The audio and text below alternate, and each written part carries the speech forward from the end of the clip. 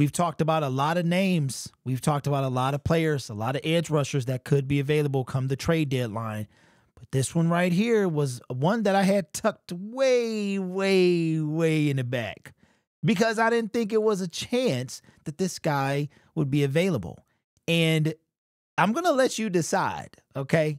What do you think based on these comments? Now, this is coming from Ari Meirov, courtesy of My Sports Update via Twitter. Says, now this is an actual insider, an actual insider with the NFL.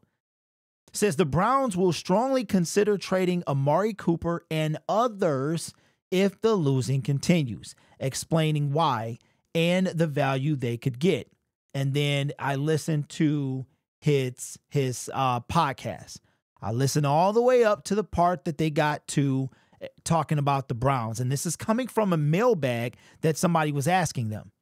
And one of the things that they talked about, they started the segment out by talking about Amari Cooper and how he's on the last year of his deal. And just like we discussed in that Amari Cooper video a few nights ago, if the Lions traded for Amari Cooper, any team, they would only owe him about a million dollars. That's it. And plus whatever draft capital you give up. What's happening is the Browns are trying to get somebody to bite because he's on the last year of his deal. And they need to recoup some of their draft assets themselves. So he talked about Amari Cooper. There are other people on the last year of his deal, of their deals. And those are the people that he was primarily focusing on. So I'm to put that out there right now. But then I start thinking, them people over to the side. And is it possible that the Browns would be willing to part ways with Myles Garrett? Okay. Now, before you think that this is crazy, we've seen crazier things. TJ Hockenson traded to a division rival at the trade deadline, didn't see it coming. The Browns are in trouble. According to Ari, this dude is we know that Deshaun Watson is getting 230 million guaranteed. He's not going to be benched. Those are his words. He's not going to be benched. Forget about it. Okay? So you already got to eat that loss, which means your team is probably going to be bad for the next couple of years. And guess what? We're going to go into something. This Myles Garrett thing is crazy. It really is. Now, here's I'll put this before you. While we're going over his numbers and his salary cap, I or cap, I want you to think about would you do this and what would you give up for Myles Garrett? And I'm not saying he on the menu. I'm not saying that. But we've seen things. We've seen stranger things happen. And if the Browns are going to be bad for a long time, then why keep holding on to this guy? Okay. Now, is it more likely to be as a Darius Smith or somebody like that? It really is. However, there is, I mean, I would give it an outside chance that it could happen. Will it happen? Eh. Would I be willing to do it? I mean, if I'm Cleveland, I, don't really know if I'm the Cleveland Browns. Depends on what I'm getting for him. But if I'm the Detroit Lions, I gotta see what's up. If you telling me there's a fire sale, I'm gonna be like, yo, I'm putting on a fireman's outfit and I'm showing up. That's that's what it is. All right, so let's check this out. Let's look at Myles Garrett's. Oh my goodness. Let's look at this dude's stats, man. Drafted first overall pick in 2017. One he he was uh he's 6'4, 272. So he's the same size as Travon Walker. He's the exact same size. I think Travon is 6'4, 172. First round. Questionable. 28 years old. Now, before we go any further, I saw him and uh, Mark from RD RDC World. They were working out together. I saw that this morning. The NFL put out a video, had them working out. He was killing Mark, but I was looking at him like, dang, you know, Stu, make me want to work out, blah, blah, blah. And then I see this, I'm like, bruh, bruh. All right. So I, I just want to go straight down to the basement and start pumping iron, man. All right. So he's having a pretty quiet year thus far. He's got nine solo tackles and uh, four sacks. All right. Look at this dude's stats, bruh. Rookie year, seven. 13, 10, 12, 16, 16, 14, and 4. The only year he did not have double digit sacks is year one. That's it. Year one, and he got seven, which, by the way, is the lowest point of his career. He's literally coming off of 16. So he averages almost one sack a game 16, 16, 14, and 4. That's insane. That's insane. It seems like DNs across the league are having a tough time when it comes to sacking the quarterback. It, it really does. Even the best of them are having hard times. Um, Micah Parsons, Myles Garrett, a little struggling, struggling a little bit this year. Early on. Now, Could this be possible? Could it be possible? Whether the Browns do it or not, I think if they're enticed, I can already tell you now, Myles Garrett, you're going to have to give up two firsts. I'm to tell you right now. So, have y'all thought about what you would give up for Myles Garrett? You're to have to give up at least two first, probably a player and probably some players down the road. Now, let's look at his salary. Okay. Now, we've already established that Myles Garrett, when is he turning? Myles Garrett will be turning 29 at the end of the season. So, he's up there with the rest of the pass rushers. All right. Now, remember, I said, as you look at this, Travon Walker is really the best deal. He he really is the best deal. But if you're talking about Travon ain't gonna cost you two first. He might cost you one. But Myles Garrett is gonna cost you two for sure. All right. So let's look at this contract. All right.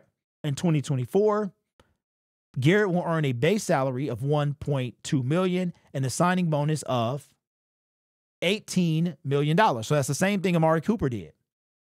Cap hit of 20 million and a dead cap of value $56 million.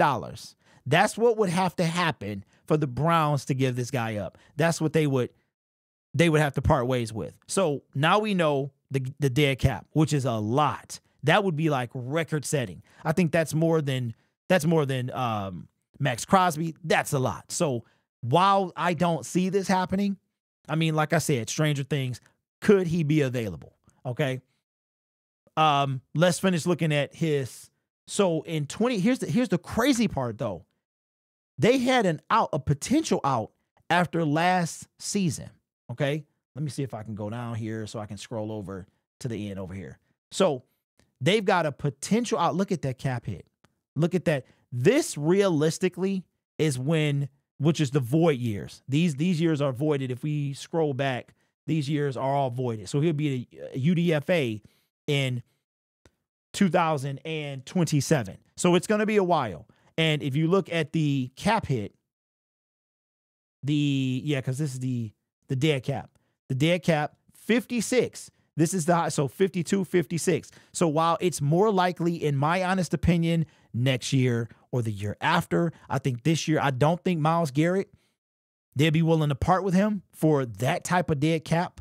But at the same time, you have to look at it like this if you're in a rebuild, you're in a rebuild, how long is it going to be before you're good? See, you took a risk on Deshaun Watson. The Browns have been that team. And it kind of funny. They threw Baker in the trash like the Rams did Jared Goff, except the Browns ain't won nothing. So my thing is that's a huge dead cap hit, not see not one I see them willing to take. But if you look at it like this, Deshaun Watson, he's on the roster for a little bit while, right? He's on. Is, is he on at the same time that Myles Garrett? Let's let me see. I want to see something because if he's on, let me see. Deshaun Watson. Man, I got this. I got a Bluetooth keyboard. and it is kind of a pain in the butt. Okay. It'll it'll like freeze. All right, so let's see.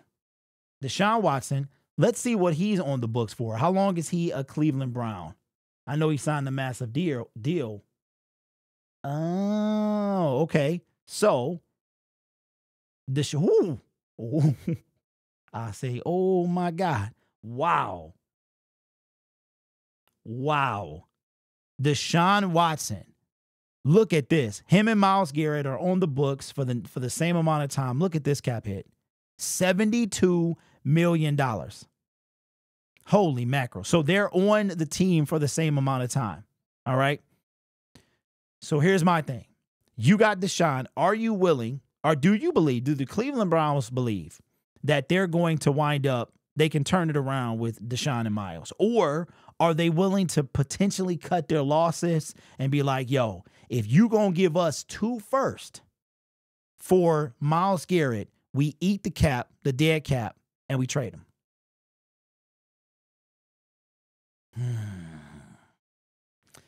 If you told me that I could get Myles Garrett for two first, I'm gonna tell you yes. I'm gonna tell you yes, because you got him on the books for the next two years, right? And I'm trying to see what his salary would be for the next two years as well. His salary for the next two years. I mean, not any different than what any other major pass rusher would be of what 19 and 20 is his cap hit. Yeah, so you're talking about 20 what? 20 million a piece? What is this? Yeah, so you're you're, looking at he he did 5 year 125 so that averages out to 25 million. Yeah, I do that. I do that. Dude, dude listen, I do that. One I do that twice because we're already picking in the bottom you would say bottom 6, right? We make it to the NFC title game. We make it to the divisional round. That's we're picking in the late first round. And, and again, to get somebody of this caliber, you're gonna have to pay. That's that's the thing we talk about with Brad Holmes, right? You gonna have to pay. Okay. Now, I could almost promise you this. If we traded two first for Myles Garrett, which I, I I don't know, man. Brad Holmes has not done anything like that, so it's hard for me to see him doing something like that. But if we did, I truly believe we win the Super Bowl before his contract is up. I I couldn't even imagine. I couldn't even imagine if we did that. So you you see, I've been smiling this whole video, man, because wow, it, it would really make my day. It would at this point, man, almost anybody would make my day. Really, anybody above average. This, I don't think the Eagles. I'm sorry, I don't think the Browns are going to be willing to let him go. But other things have happened, and I think anybody is for sale. I think anyone, any, meaning any of these football players are for sale with the, for the right price. So I'm thinking to get a Myles Garrett is going to easily be Stafford type stuff. You're talking about two firsts. Let's just throw James Houston in there. James Houston, two firsts, and two other picks. Right, because we did. Okay, so what would you do? James Houston, two first. Let, you know what? Let's do a third. Let's do the, the Matthew Stafford. Would you do the Matthew Stafford trade but instead of Jared Goff, it's James Houston for Myles Garrett. I say yes. Let me know your thoughts down in the comments below. Remember, this channel is brought to you by viewers, subscribers, and members just like you. You could be anywhere else on YouTube, but you choose to rock with me. You guys are awesome. Take care of yourself and each other. And as always, go Lions. I can wipe this smile off my face because this ain't going to happen. But man, imagine if it did.